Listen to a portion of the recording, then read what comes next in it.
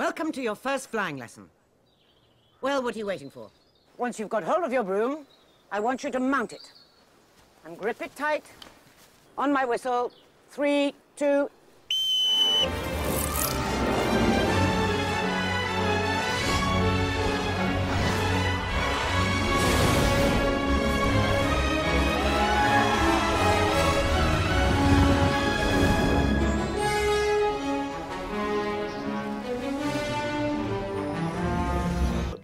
It works really well.